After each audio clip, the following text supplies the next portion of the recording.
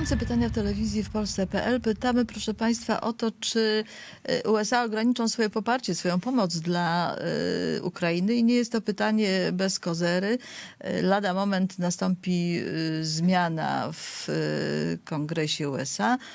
Wszystko wskazuje na to, że większość zdobędą republikanie. I w tym kontekście wypowiedź jednej z aktywistek Partii Republikańskiej na wiecu republikanów w stanie Iowa, pani Marjorie Taylor Greene, Green, która już jest w Izbie Reprezentantów, musi budzić niepokój. Proszę posłuchać. Under Republicans, not another penny will go to Ukraine. No właśnie, pani powiedziała, że jeżeli będą rządzić republikanie, Ukraina nie dostanie ani centów. Przekonywała na wiecu, że jedyna granica, o którą dbają demokraci, czyli administracja Joe Bidena, to jest granica ukraińska, a przecież y, trzeba chronić granicę południową Stanów Zjednoczonych przed napływem imigrantów. Ale nie byłoby to na tyle niepokojące, bo pani Green jest uważana za swoistego rodzaju ekstremistkę republikańską, ma bardzo wiele kontrowersyjnych opinii. E, między innymi na przykład o Soroszu mówi, że to jest nazista, ale nie tylko, bo zmienia się tak jakby mm, w sondażowych e, wynikach poparcie w ogóle Amerykanów dla pomocy Ukrainie i o ile na przykład e, w marcu mm, w sondażach wynikało, że jedynie 6% pytanych e, uważa, że e, nie należy zbytnio popierać i pomagać Ukrainie. O tyle jak donosi Wall Street Journal, 30% e, ankietowanych jest zdania, że Stany Zjednoczone pomagają zbyt wiele. Natomiast jeżeli chodzi o pomoc finansową, to już jest trochę lepiej, bo ponad połowa Amerykanów uważa, że trzeba pomagać, ale 81% republikanów y, uważa, że nie.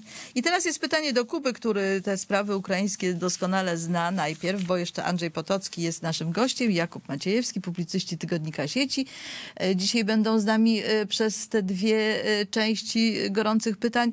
Jest pytanie, no właśnie, na ile e, to jest retoryka wyborcza, na ile to jest wpisanie się przez republikanów w te wyniki sondażowe, które po, po, pokazują spadek poparcia, a na ile rzeczywiście, jeżeli będą mieli większość e, w kongresie, to wtedy, w Senacie przede wszystkim, to wtedy e, no, rzeczywiście mogą przyhamować tę pomoc dla Ukrainy, a jednak to Stany Zjednoczone są największym tutaj darczyńcą, jeżeli chodzi o sprzęt wojskowy i o pomoc materialną.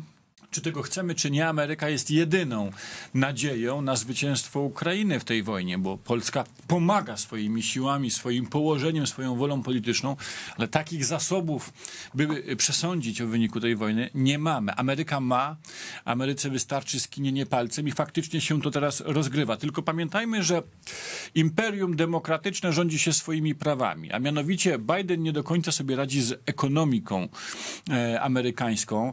Ten kryzys finansowy, on się też troszeczkę odbija na przeciętnym obywatelu amerykańskim i republikanie grają trochę pod publikę.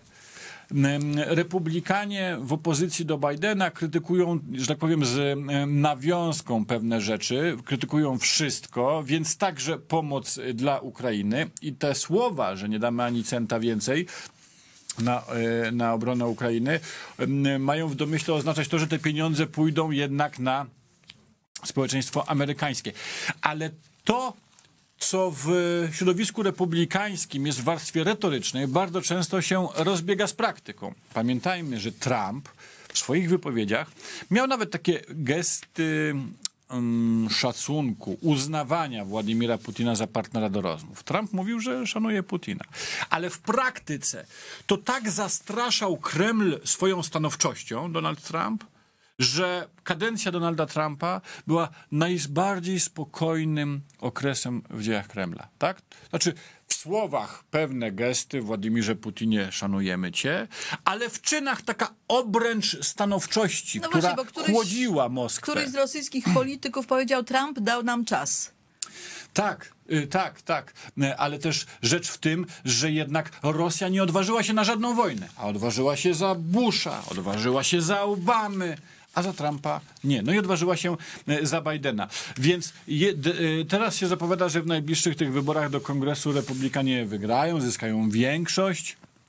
ale mimo wszystko e, e, wydaje mi się, że tam jednak ten duch Johna McCaina, te jastrzębie republikańskie z retoryką pokojową wejdą do, e, do parlamentu amerykańskiego, ale w praktyce nie pozwolą zaniedbać tego bezpieczeństwa. Pamiętajmy, że jednak Amerykanie mają pewną ciągłość instytucjonalną. Oni nie wahają tak sojuszami, jak to w Polsce na No przykład ma dobrze, miejsce. Andrzeju, pytanie do ciebie, bo y, nieoficjalnie administracja Bidena zachęca do rozmów.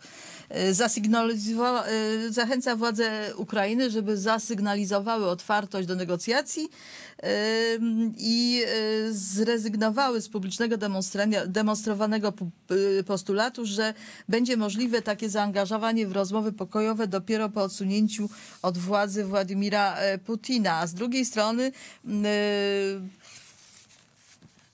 Washington Post poinformował, że Jake Sullivan, doradca do spraw bezpieczeństwa narodowego prezydenta Bidena, prowadził w ostatnich miesiącach poufne rozmowy z przedstawicielami Kremla, co Biały Dom nie skomentował tego, odmówił komentarza na ten temat. Czy rzeczywiście e, Amerykanie chcą, żeby w tym momencie, kiedy rzeczywiście przewaga Ukrainy no, jest wyraźna, chyba Kuba nie, nie, nie, nie przesadza, mówiąc o tym, że to jest ten moment wojny, kiedy widać wyraźnie, że Rosjanie są w defensywie. E, Nawoływanie do rozpoczęcia negocjacji to chyba nie jest dobry pomysł.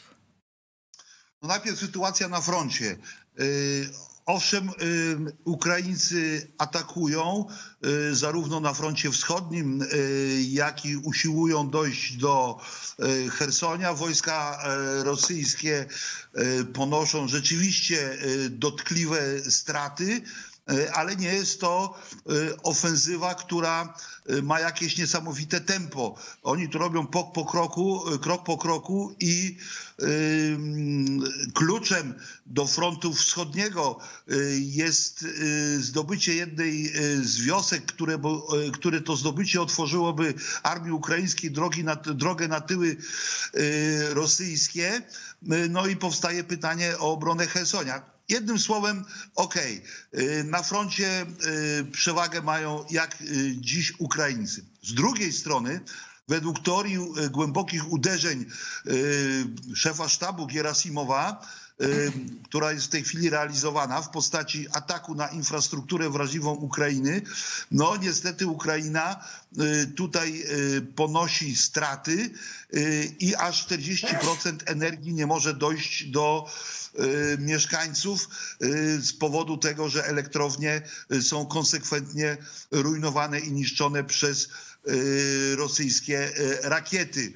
Y, W związku z tym y, sytuacja jest y, nie taka znowu wspaniała dla, dla Ukrainy, bowiem przychodzi zima, na co zresztą liczą Rosjanie. No i tutaj mamy wyszły akurat teraz y, te, te historie z Jake'iem Sullivanem.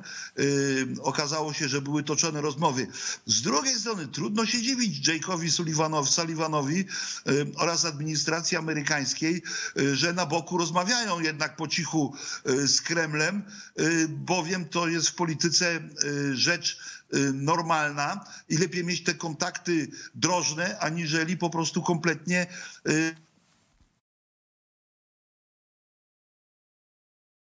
niż kompletnie ich nie mieć. Dokończymy za, dokończymy za Andrzeja. Już wrócił, tak? Andrzej, dokończyłam za ciebie. Lepiej mieć niż nie mieć. do spraw bezpieczeństwa narodowego doradcy Białego Domu Jake'a Sullivana e, w Kijowie, no on po- potwierdził tam, e, że stanowisko nawet po wyborach do kongresu e, będzie niezachwiane i nieugięte. E, To zresztą w tej chwili nawet i dla republikanów jest jakąś kwestią honoru armii, znaczy armii państwa amerykańskiego, które tutaj no, nie może sobie pozwolić na oddanie w cudzysłowie bez walki, pójście na zbyt duże ustępstwa e, w kwestii pokoju dla Rosji. Zresztą ostatnie słowo e, należy do e, Ukraińców. Z drugiej jeszcze jedna kwestia. Olaf Scholz dzwonił do Bidena i przeprowadził z nim po wizycie w Chinach rozmowę, o czym poinformował rzecznik rządu federalnego Wolfgang Büchner.